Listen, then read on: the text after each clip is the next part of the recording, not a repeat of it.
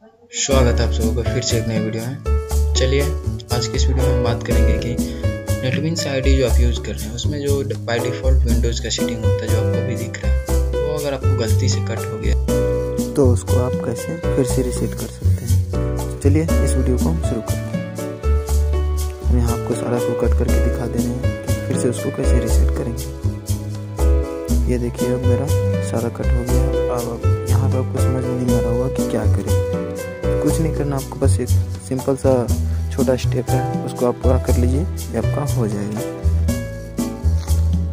तो आपको यहाँ पे सिलेक्ट करना है रिसेट विंडो तो वो आ जाना आपको विंडोज़ टूल में।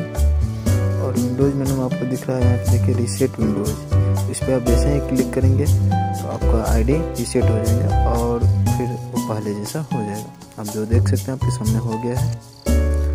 Thank you for watching this video अगर वीडियो अच्छी लगे आप लोग को तो लाइक ज़रूर करें।